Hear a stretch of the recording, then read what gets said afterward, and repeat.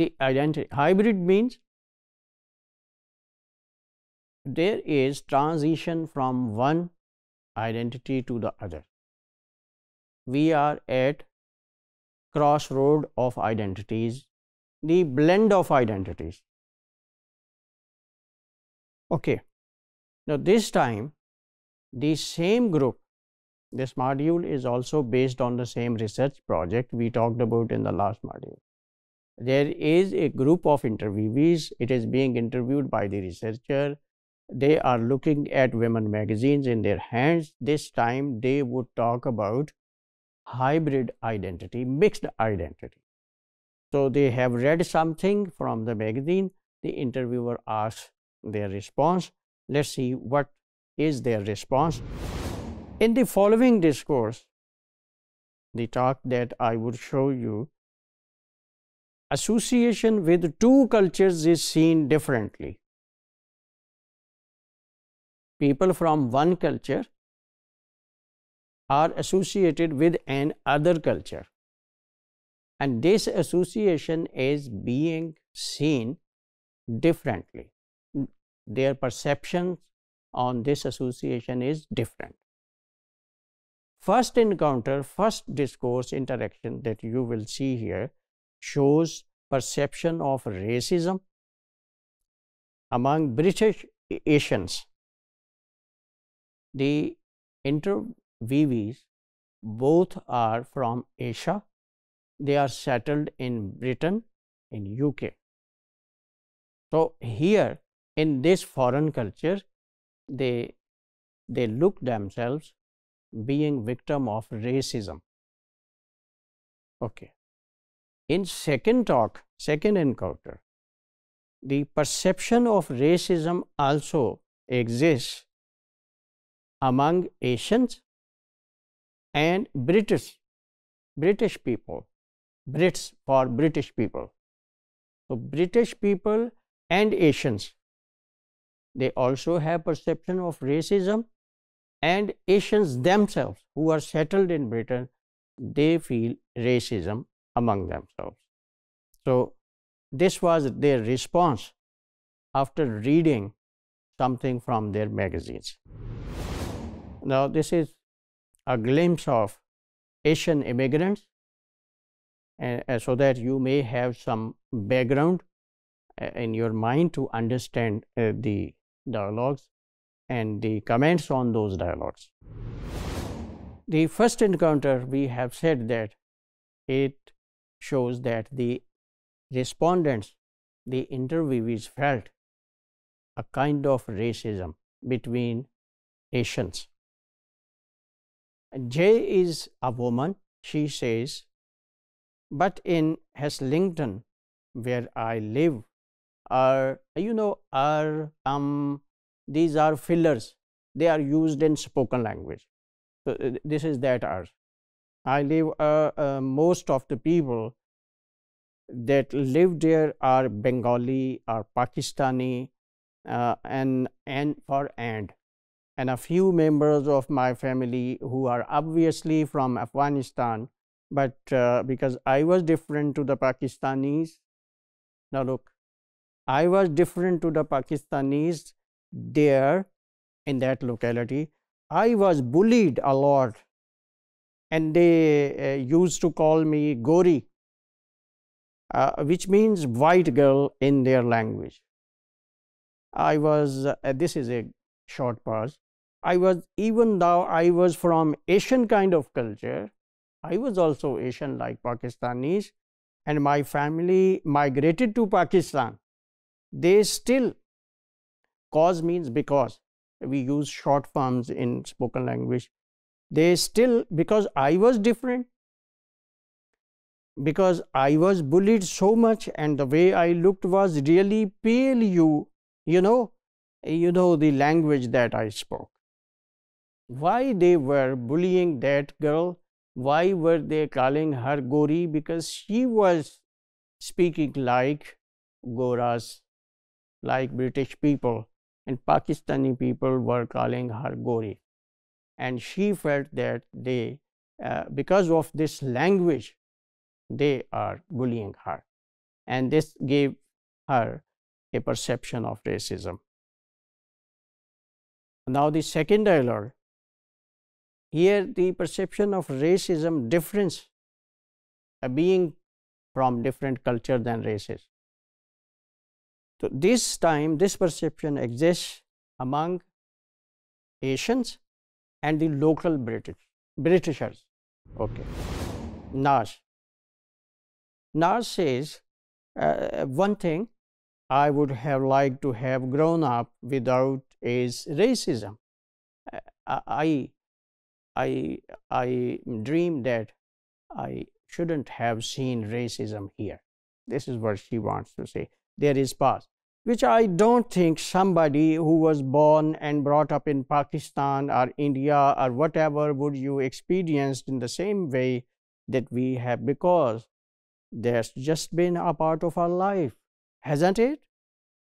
But being Pakistani or Indian, we do face racism because this is part of our life, she says. Now, another person, Linda, this my son, she is Britisher. She responds to her, this might, uh, this is possible, might, strong possibility. This might sound naive, this is so simple. When you say racism, this is not racism, she rejects it. She says that uh, uh, from which perspective is it some British people who think they are the Brits and you are not. The simple thing is that Britishers may be thinking that you are not a local person and it is nothing beyond that. Naz, yeah, yeah, that we don't belong here. she again remains insistent that okay, we are others, we are not people from here. That's why people look at us differently. They take us different from themselves. Another thing about which the interviewer, the researcher got respon responses of the readers of Women magazine that was hijab. Now, let's see what they think about hijab. A special type of hybridity because uh, with this hijab, different cultures have different perceptions. There is also blend of cultures and associations and uh, so are the different views of hijab. The following image presents it as a fashion item. First of all, one perception is that hijab is just a fashion item.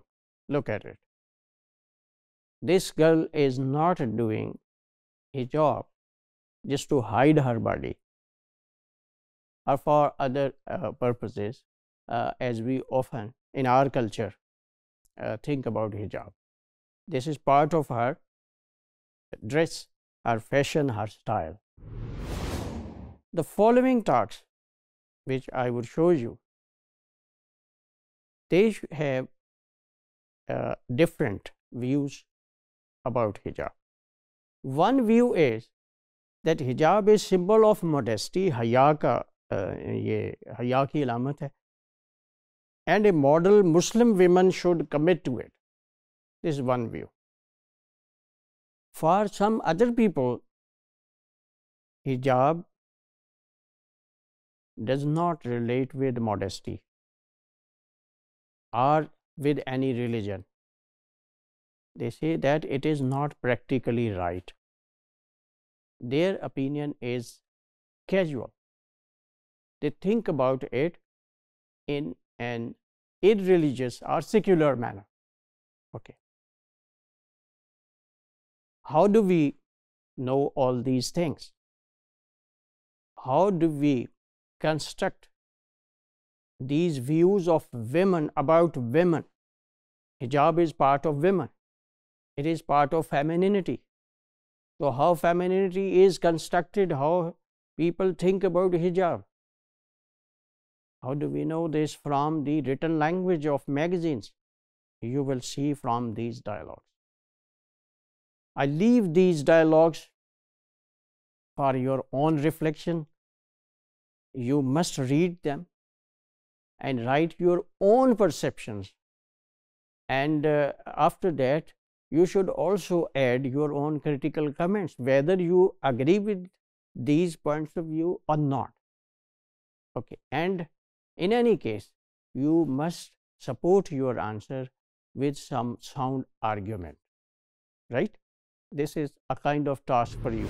Now, see, this is another image that conveys a, a third dimension to hijab. Here, hijab is taken as a compulsion, it is against somebody's choice.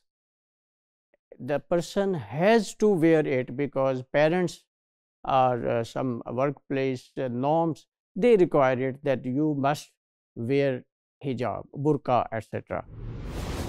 But see, the image is very clear that the purpose is not modesty or anything like that. The purpose is to add attraction instead. That is uh, that goes against the idea of hijab itself.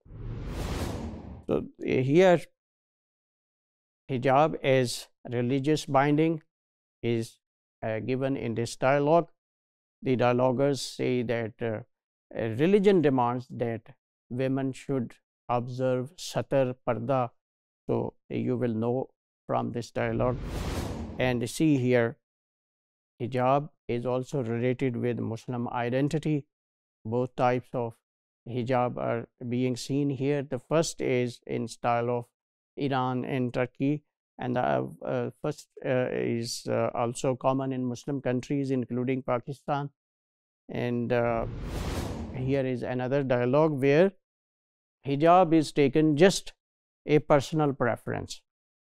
So, these dialogues they are responses of the interviewees.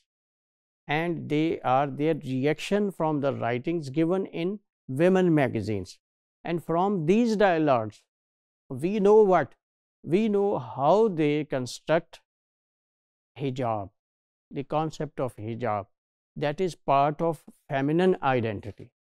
Some take it as casual some take it as fashion some take it as modesty some take it as personal preference, uh, we may or may not observe it. So, finally, uh, what I would emphasize uh, as a conclusion to this whole talk that you should know that our discourse at workplace, whether it is written or spoken, it constructs our gender identity.